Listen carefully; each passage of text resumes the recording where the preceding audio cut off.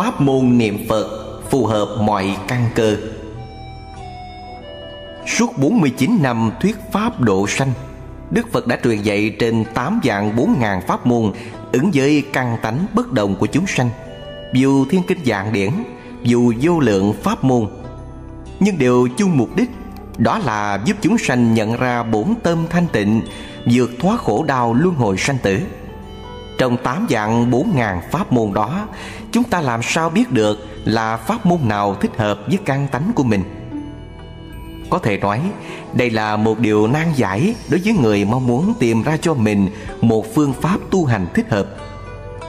Tuy nhiên, tự xét về bản thân và căn cứ theo lời dạy của chư vị tổ sư, thì chúng ta vẫn có thể xếp loại căn cơ của mình thuộc vào hạng nào trong ba hạng sau đây? Một là hạng thượng căn thượng trí, vừa nghe giảng liền thông hiểu ngọn nguồn. Dứt sạch vọng niệm, triệt ngộ bản tâm. Hai là hạng người dù căn tánh không được lanh lợi như hạng thượng căn thượng trí, nhưng niềm tin phật pháp không có gì có thể lay chuyển được. Ba là hạng căn cơ hạ liệt, phước đức cạn cợt, nghiệp chướng sâu dày đã vậy còn hay lấy hí luận kiến giải làm sợ đắc, Thường cống cao ngã mạn. Do vậy, ngày càng xa rời bổn tâm thanh tịnh. Qua ba hạng căn cơ kể trên, Có lẽ chúng ta đã nhận thức ra Mình thuộc loại căn cơ nào rồi, phải không? Hạng người căn cơ thứ ba Mà chư tổ đã đề cập đến, Đó chính là chúng ta hiện đang sống trong thời mạt Pháp đây cũng là hạng người mà Đức Phật và chư vị tôn đức tổ sư quan tâm nhất. Thật vậy, Chúng sanh thời mạt Pháp đa phần là hạ căn, độn trí, Phước đức cạn cợt, Nghiệp chướng sâu dày, Niềm tin dễ bị lung lay, Thường dễ rơi vào tà kiến ác đạo. Chính vì vậy mà việc chọn pháp môn tu và phương pháp tu tập đã gặp rất nhiều trở ngại. Chúng tôi thiết nghĩ sự lựa chọn pháp môn tu nếu không phù hợp thì kết quả ác sẽ không đạt được như ý nguyện. Tình trạng này chắc chắn sẽ dẫn đến sự thối tâm thối chí trong quãng đời tu học về sau. Chúng tôi nghĩ rằng để chọn cho mình một pháp môn tu phù hợp và thích nghi với điều kiện sống trong bối cảnh thời đại thì việc này rất là hệ trọng cho cả cuộc đời học đạo của mỗi chúng ta. Thế nhưng thật là may mắn, trong biển pháp mênh mông đó, Đức Bổn Sư của chúng ta đã mở bày một phương tiện siêu thắng, Một pháp tu di diệu phù hợp với mọi căn cơ Mà vẫn bảo đảm sự giải thoát cho mọi chúng sinh. Phương tiện cứu độ thù thắng đó chính là pháp môn tịnh độ. Theo hầu hết các kinh và luận về tịnh độ tông, Thì pháp môn niệm Phật thích hợp ba căn Tốn thâu cả phàm lẫn thánh không những bậc thượng căn thích hợp pháp môn này Mà người hạ căn độn trí Cũng có thể hành trì Nương nhờ pháp môn này Mà chống được giảng sanh về cực lạc Đạt ngôi bất thối chuyển. Trên các hàng Bồ Tát Như Ngài Văn Thù, Ngài Phổ Hiền vân vân Đều phát nguyện giảng sanh Dưới đến hạ căn thập ác Nhờ nương công đức niệm Phật Nhất tâm bất loạn Cũng tùy nguyện đới nghiệp giảng sanh Được cận kề chư thượng thiện nhân chư đại bồ tát quan âm, thế chí, vân vân. Như vậy, chúng ta có thể nhận thấy sự diệu dụng của pháp môn này thật là to lớn. Sức ít mà kết quả gặt hái được lại rất nhiều. Trong kinh vô lượng thọ có vậy. Như lai rủ lòng từ riêng, lưu lại kinh này một trăm năm nữa, sau khi các kinh khác diệt hết. Đoạn kinh này ngụ ý rằng Đức Phật muốn nhấn mạnh tầm quan trọng của các bản kinh tịnh độ. Bởi sự phù hợp cả tương lai và hiện tại, Nhất là pháp môn niệm Phật rất hiệu quả Và mang lại lợi ích rất to lớn đối với chúng sanh thời mạt Pháp. Dù pháp môn niệm Phật tuy được xem là pháp tu phù hợp với mọi căn cơ, Có khả năng chuyển phàm thành thánh ngay trong một đời, Được xem là rất thẳng tắc bằng phương pháp niệm Phật nhất tâm bất loạn. Tuy nhiên chúng ta cũng cần chú ý rằng Pháp môn niệm Phật cũng là một pháp tu mà chúng sanh khó có thể nhất thời tin nhận thọ trì. Vì sao vậy? Về điều này, khi thuyết kinh A-di-đà, Đức Phật Thích Ca đã tiên liệu trước rằng Về sau trong thời mạt Pháp Ít người có đủ lòng tin kiên cố Phát lòng niệm Phật cầu giảng sanh về Tây Phương Cực Lạc Chính vì thế mà Ngài đã dẫn lời khen ngợi của mười phương chư Phật Để làm bằng chứng chắc thật. Phá trừ sự nghi hoặc Củng cố niềm tin trong tâm của mọi người. Xem như thế, đủ thấy Đức Phật đã biết trước chúng sanh còn nhiều nghi ngờ, Khó tin vào pháp môn niệm Phật, Nên Ngài đã dùng đủ mọi phương tiện Dẫn dắt chúng sanh thời mạt Pháp như chúng ta Hướng về tịnh độ.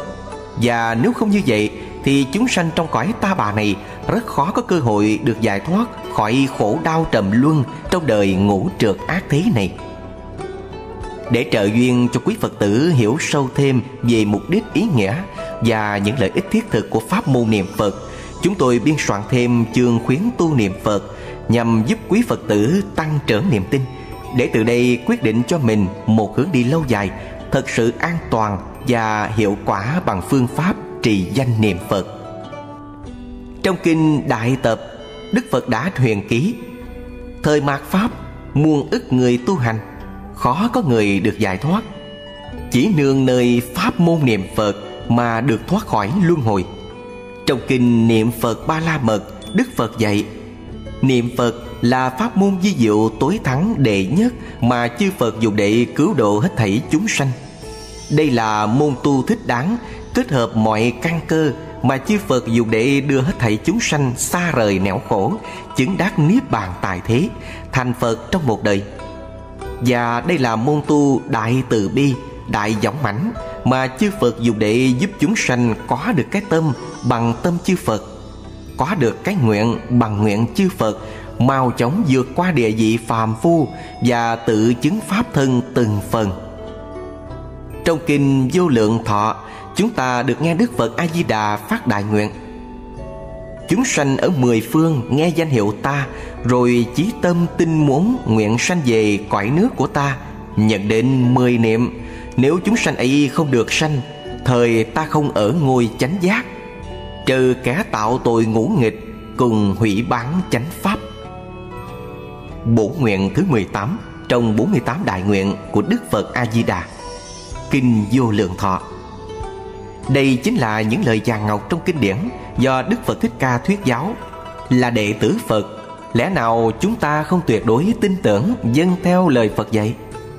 Đức Bổn Sư Thích Ca Mâu Ni Phật và Đức Từ Phụ A Di Đà, đại từ đại bi thương xót chúng sanh, còn hơn cha mẹ thương con, là đệ tử Phật, lẽ nào chúng ta cứ mãi làm đứa con bất hiếu ngỗ nghịch để rồi xuôi theo dòng đời tạo tác trả dây trôi lăn trong tứ sanh lục đạo chuốc lấy khổ đau trong luân hồi sanh tử.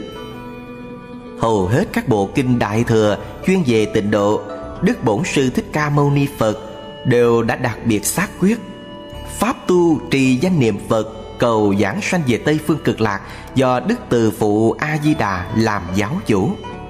Là pháp tu thù thắng, phù hợp mọi căn cơ, tóm thâu cả phàm thánh từ hàng đại bồ tát như văn thù, phổ hiền, các bậc đại trí như ngài thiện tài hải chúng hoa tạng. Các bậc thượng nhân như các vị tổ sư mã minh, long thọ, vân vân, cũng đều tha thiết cầu giảng sanh về tây phương cực lạc. Nhận đến hàng hạ can độn trí, tạo nghiệp ngũ nghịch thập ác. Một khi đã biết ăn năn quay đầu, phát tâm bồ đề tín nguyện đầy đủ, chí thành cầu giảng sanh về tây phương cực lạc tha thiết trì danh niệm Phật, Nhận định một niệm nhất tâm bất loạn, Cũng nhờ đó tùy nghiệp đới sanh. Sẽ có đại diễm phúc cùng chư thượng thiện nhân cơ hội. Như vậy, từ bậc thượng trí đến hàng hậu học độn căn kém cỏi Cũng đều có thể thực hành pháp môn niệm Phật, Đều có thể thành tựu sở nguyện giảng sanh Về Tây Phương Cực Lạc, đạt ngôi bất thối chuyển. Điều này chứng tỏ Trì danh niệm Phật là pháp môn tối thắng.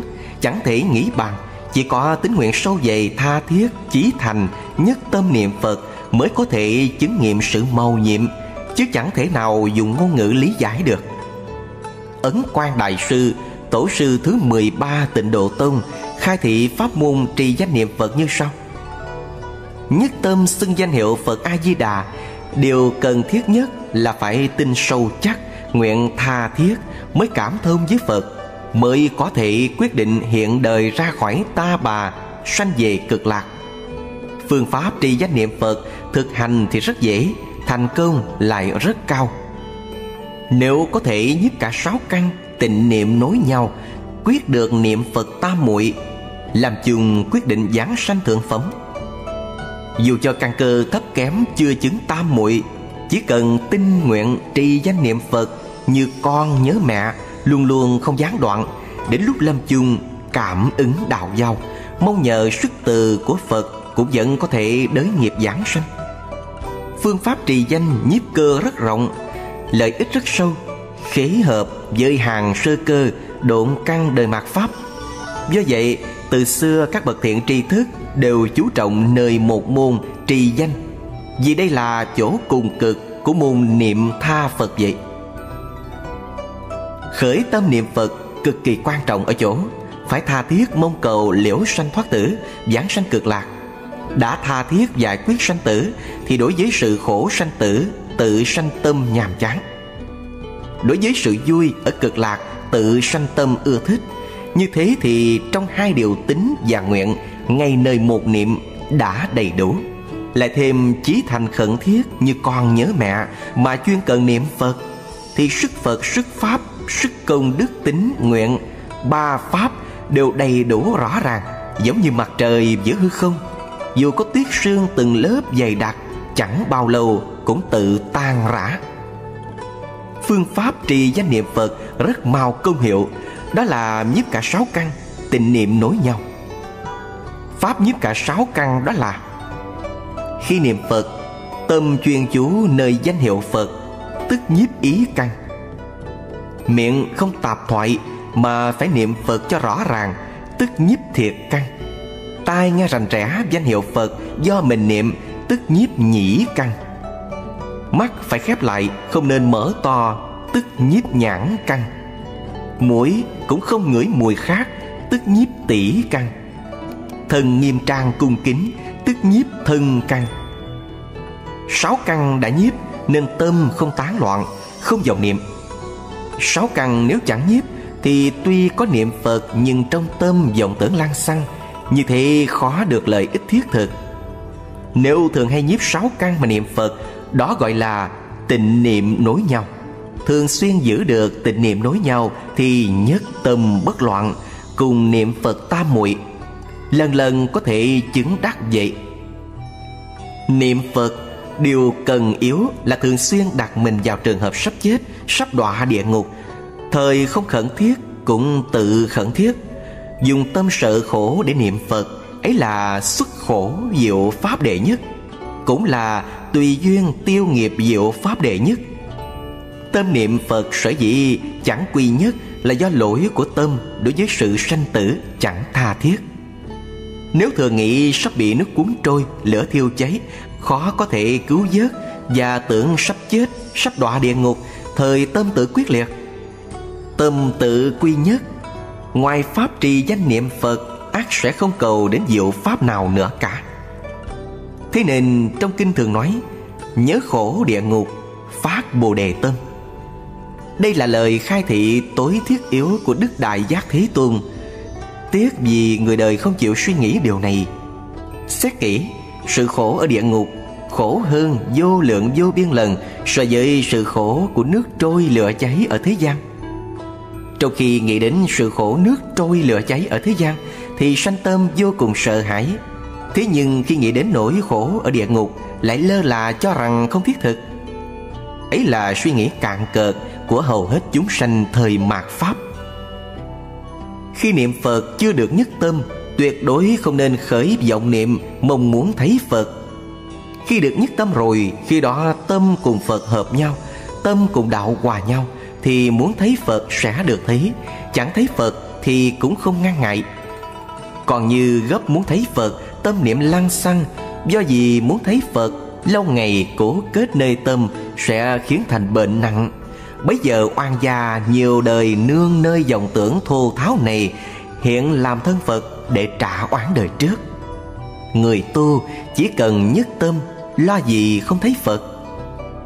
Trì danh niệm Phật Cần lấy sự tinh chuyên làm chủ.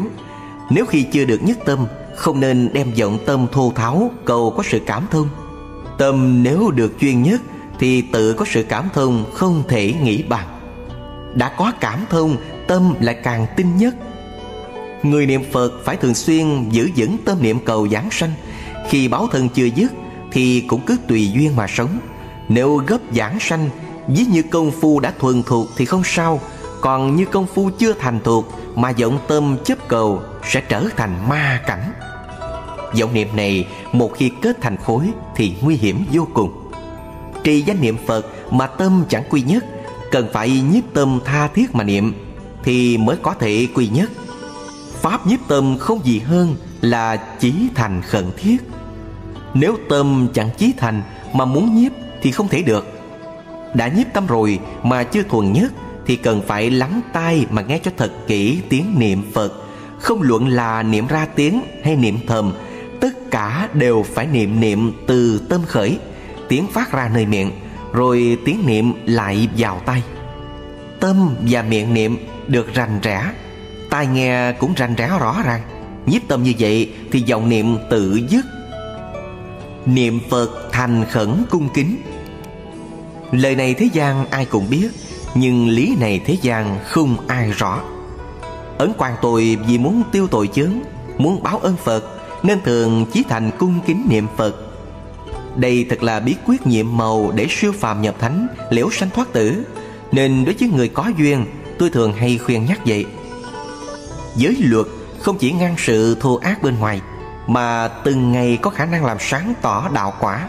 Ai cũng rõ, Nhân quả là viền mối của giới luật, Là nền móng của Phật Pháp. Nếu người chẳng biết nhân quả Mà mê muội nhân quả, Tức là sống ngược với Phật Pháp. Người niệm Phật, Một khi khởi tâm đầu niệm, Thường phải làm cho khế hợp với tâm Phật, Thì luật giáo thiền tịnh Cùng một lúc đã thực hành rồi vậy. Pháp môn trì danh niệm Phật, Lấy tính nguyện hạnh làm cương chỉ, Lấy sự nhiếp cả sáu căn tình niệm nối nhau, Là điều tối yếu. Khi hạ thủ công phu, Lại dùng tứ hoàng thệ nguyện. Thường chẳng lìa tâm. Do vậy, tâm cùng Phật tương ứng, Tâm cùng đạo khế hợp, Hiện đời mau vào dòng thánh, Làm chung thẳng lên thượng phẩm. Như thế, chẳng uống một đời tu hành vậy. Ngài Vĩnh Minh Diên Thọ, Sinh năm 904 Mất năm 975 Là thiền sư chứng ngộ. Nhưng Ngài lại đặt nặng pháp môn tịnh độ Trong sự nghiệp hoàng hóa độ sanh. Thiền sư đã xem pháp môn tịnh độ Như là một phương pháp tu chắc chắn, Thiết thực, Phù hợp với căn cơ cho đại đa số chúng sanh Trong mọi thời đại. Ngài đã quả quyết điều này trong hai bài kệ khuyến tu. Có nội dung này xin lược trích như sau có thiền tông, không tịnh độ. Mười người tu, chín người ngã. Ấm cảnh nếu hiện ra, Chỉ chớp mắt là theo nó. Không thiền tông, Có tịnh độ. Dạng người tu, Dạng người độ Thấy được Phật Di Đà. Còn lo gì chẳng khai ngộ.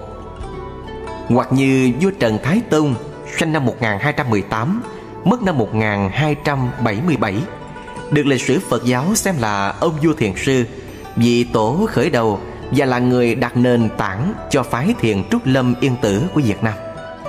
Dù là một thiền sư đã viết quyển Thiền Tông Chỉ Nam để hướng dẫn phương pháp tu thiền, hay như chú giải Kinh Kim Cương Tam Muội để làm sáng tỏ lập trường triết lý cơ bản của thiền tông.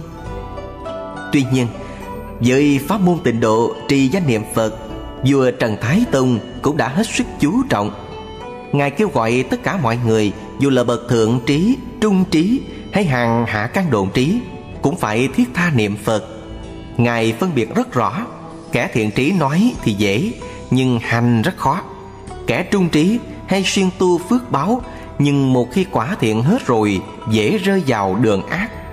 Còn người hạ trí Lấy niệm Phật làm nước thang chính đi lên Nhưng kết quả chắc chắn không sai chạy trong khóa hư lục, Ngài viết, Bậc hạ trí lấy niệm Phật làm nước thang, Lấy tinh tấn làm cây thang, Chú ý duyên lành nguyện sanh về nước Phật, Và siêng năng không lười nhác, Tâm tánh thuần thuộc. Sau khi mạng chung, Tùy theo sở nguyện được sanh về nước Phật. Đã sanh về nước Phật rồi, Thân đó không bao giờ mất. Qua những trích dẫn trên đây, Chúng ta đủ thấy các bậc tổ sư tiền nhân, cổ đức Dầu thuộc hệ phái nào Cũng đều khuyên tu niệm Phật, Coi pháp môn tịnh độ là căn bản, Lợi ích thiết thực cho chúng sanh Trong cõi ta bà đau khổ này. Trong niệm Phật tôn yếu, Bản dịch của Viễn Thông Nguyễn Văn Nhạc. Đại sư Pháp Nhiên, Sư tổ tịnh độ Tôn Nhật Bản dạy rằng, Ngoài niệm Phật, Tất cả hành khác đều chẳng tương ưng với bổn nguyện của Đức Phật A-di-đà Bởi vậy tuy là diệu hạnh cũng không bằng niệm Phật. Muốn được sinh sang cõi nước khác, Nên thuận theo bổn nguyện của Đức Phật A-di-đà. Niệm Phật là hạnh tương ưng với bổn nguyện của Đức Phật A-di-đà, Nên mười phương hàng xa chư Phật đều chứng thành. Các hạnh khác chẳng tương ưng bổn nguyện, Nên chư Phật chẳng chứng thành. Bởi thế, nên thường niệm Phật để mười phương chư Phật hộ niệm. Hoặc như Kinh Quán Vô Lượng Thọ chép rằng Quang minh soi chiếu khắp mười phương thế giới Thâu nhiếp không rời các chúng sanh niệm Phật. Quang minh của Đức A-di-đà Chỉ soi chiếu người niệm Phật, Chẳng soi chiếu người tu các hành khác. Bởi thế, người cầu sinh sang cõi cực lạc Phải biết niệm Phật là trọng yếu. Có thể nói rằng, trong niệm Phật tôn yếu, Đại sư Pháp Nhiên đã nêu ra một cách rõ ràng Tôn chỉ cũng như mục đích ý nghĩa của pháp môn trì danh niệm Phật, Giúp người niệm Phật thuận lợi hơn, Dễ dàng hơn trên bước đường trở về ngôi nhà cực lạc mà mình đã chọn. Bổn nguyện thâm trọng sau năm kiếp tư duy chép trong kinh Phật Thuyết Vô Lượng Thọ Là chẳng kể thiện hay ác, Chẳng quản trì giới hay phá giới, Chẳng tính tại gia hay xuất gia, Chẳng luận có trí hay không có trí. Chỉ Pháp Đại Bi Bình Đẳng, Này đã thành Phật. Trụ vào cái tâm tha lực, Tức nguyện lực của Đức A-di-đà Mà niệm Phật thì chỉ trong khoảnh khắc Đã được dự vào sự nhiếp thọ của Đức Phật A-di-đà. Ngài đã khuyến tu niệm Phật với lời lẽ hết sức chân thật, gần gũi như sau. Ngoài việc xưng danh hiệu thì niệm Phật không có hình thức gì hết. Hay như niệm Phật hoàn toàn không có hình thức Chỉ cần biết rằng hãy xưng danh hiệu Đức Phật A-di-đà Thì được sinh sang cõi cực lạc. Do đó nên chí tâm niệm Phật để cầu giáng sanh. Yếu đạo để hạng phàm phu thoát khỏi sinh tử Không gì hơn môn tịnh độ Hạnh niệm Phật. Nói về căn cơ thì bao gồm thập ác, ngũ nghịch, tứ trọng, bán pháp, xiển đề, phá giới vân vân. Nói về hạnh thì 10 tiếng hay một tiếng hay cả trẻ con cũng xưng được. Nói về tính thì một niệm hay mười niệm, Kẻ ngu cũng làm được. Bổn nguyện vốn gì mười phương chúng sanh Mà có, không để sót bất cứ căn cơ nào, Không bỏ rơi bất kỳ ai. Trong mười phương chúng sinh Thì có trí hay vô trí, Có tội hay vô tội, Phàm phu hay thánh nhân trì giới hay phá giới? Người nam hay người nữ? Ông già hay trẻ con? Cho đến căn cơ của thời tam bảo đã diệt, đều bao gồm cả. Hễ gặp được bổn nguyện, được nghe danh hiệu nam mô a di đà phật, và tin theo mà niệm phật, thì đức phật a di đà dùng quang minh biến chiếu, thu nhiếp chẳng rời. Hạng tội nặng nghiệp dày u minh ám chướng lại càng nên nương vào a di đà phật bổn nguyện. Vì sao vậy? Lý do là vì a di đà bổn nguyện vốn vì phàm phu, chứ không phải vì thánh nhân. Đại sư luyến tây dạy, khi trị danh niệm phật, chỉ cần khiến âm thanh chẳng dứt, chẳng cần quá để ý đến nhất tâm bất loạn. Vì sao? Vì âm thanh chẳng dứt là nhân, nhất tâm bất loạn là quả. Nhân hạnh nếu chân thật đạo quả ác duyên thành. Chỗ này gọi là hình ngay thời bóng thẳng, tiếng hòa thời âm gian đáng tiếc người đời này chẳng chuyên cần niệm phật mà ước mong nhất tâm bất loạn. Há chẳng phải như chim không cánh mà muốn bay, cây không rễ mà muốn xanh tốt. Ngẫu ích trí hút đại sư sống vào thời nhà minh, khi viết quyển a di đà kinh yếu giải đã phải lên tiếng than thở. Trong kinh dạy rằng, Đời mạt Pháp ức dạng người tu hành, Ít có một người đắc đạo. Chỉ còn nhờ Pháp niệm Phật mới được độ thoát. Qua lời tự thán và nhắc nhở của một bậc đại sư tình độ tông, Chúng tôi nghĩ rằng nay chính là thời mạt Pháp. Nếu chúng ta bỏ pháp môn niệm Phật này, Không lo nhiếp niệm tu trì thì còn chọn lấy pháp môn nào nữa Để mà tu học. Diệu Hiệp Thiền Sư khuyên, Nếu có thể vận dụng thân khẩu mà niệm, Chỉ cần câu Phật hiệu không gián đoạn, Tự có thể được nhất tâm. Chỉ cần thực hành không ngừng nghỉ, Mà chẳng cần lo sợ tâm tán loạn. Ngẫu ích tri hút đại sư khai thị, Nếu niệm địa ngục, Thời là người của chúng địa ngục. Nếu niệm ngạ quỷ, Tức thời đã là ngạ quỷ. Cho đến niệm Phật, Thời là công dân của Phật quốc vậy. Lý này rất rõ ràng. Cho nên trong tông cảnh lục có câu, Một niệm tương ưng một niệm Phật, Niệm niệm tương ưng niệm niệm Phật. Suốt cả ngày niệm ra tiếng hoặc niệm thầm Liên tục không gián đoạn, Cần phải lấy nhất tâm bất loạn làm kỳ hạn. Thực hành tâm hạnh đơn giản này Cần phải tin chắc chớ nghi ngờ. Giữ niệm luôn luôn chớ đừng dừng nghỉ giữa đường. Tự sẽ được giảng sanh cực lạc. Qua kinh nghiệm của nhiều bậc cao tăng Và hành giả kiên trì tu theo pháp môn trì danh niệm Phật Nếu tin sâu, nguyện thiết, hạnh chuyên Thì cửu phẩm liên hoa chắc chắn là chỗ quay về trong mai hậu. Như vậy, niệm Phật quả là một pháp môn đơn giản Nhưng rất đắc dụng. Hơn nữa, đó cũng là con đường thẳng tắt nếu chúng ta hành trì đúng pháp Chắc chắn thành tựu ngay trong một đời. Chỉ cần chúng ta buông xả dạng duyên Giữ vững chánh niệm Chuyên cần duy trì danh hiệu Không để gián đoạn câu Phật hiệu Và trì danh cho đến nhất tâm bất loạn. Người tu theo Phật Pháp Trong thời đại hiện nay Nhất là đối với hàng cư sĩ tại gia thì niệm Phật được xem là con đường thẳng tắc và tất yếu Để ra khỏi luân hồi sanh tử. Đây chính là pháp môn tha lực duy nhất trong Phật Pháp Mà điểm then chốt là tin tưởng tuyệt đối vào bổn nguyện của Đức Phật A-di-đà. Như chúng ta đã biết, bổn nguyện của Đức Phật A-di-đà là dùng danh hiệu của Ngài để cứu độ hết thảy chúng sanh. Nếu người tu tịnh độ mà không hiểu lý này Thường cho rằng chỉ danh niệm Phật là để dành cho hạng hạ căn kém cỏi. Không đủ năng lực để hành trì các pháp môn khác. Lại có người cho rằng phương pháp xưng danh niệm Phật chủ yếu là tự lực, Nên chỉ có thể trông cậy vào chính sức niệm Phật của mình mới mong được giảng sanh, Và gọi đó là tự lực niệm Phật. Vì quan niệm chỉ dựa vào tự lực, Nên việc tu rất nhọc nhằn Và cũng không chắc được sự giảng sanh của mình. Có thể nói, đây là điều mà nhiều người tu theo pháp môn tịnh độ mắc phải sai lầm Khi chưa tìm hiểu kỹ về pháp môn tịnh độ. Trong quá trình biên soạn Nhất tâm niệm Phật, quyết định giảng sanh, Chúng tôi may mắn gặp được cuốn Pháp Nhiên Đăng Ngữ Lục Của Ngài Pháp Nhiên Sơ tổ tịnh độ tông tại Nhật Bản. Càng đọc sâu vào từng câu, từng chữ, Chúng tôi hốt nhiên dở lẽ về cái lý Tha lực niệm Phật rất ư là thù thắng di diệu Có thể cứu vớt chúng sanh thời mạt Pháp Nếu thật sự tin sâu, nguyện thiết, hạnh chuyên Thì chỉ trong đời này thôi chắc chắn sẽ được giảng sanh về Tây Phương cực lạc. Chính vì lợi ích lớn của người niệm Phật, chúng tôi đã biên soạn lại bản dịch của cư sĩ Viễn Thông Nguyễn Văn Nhạc, hầu giúp quý Phật tử hữu duyên tăng trưởng niềm tin vào bổn nguyện của Đức Từ Phụ A Di Đà. Kiên cố niềm tin và bổn nguyện của Ngài, để Ngài Lâm Chung chắc chắn sẽ được giáng sanh về thế giới Tây Phương cực lạc.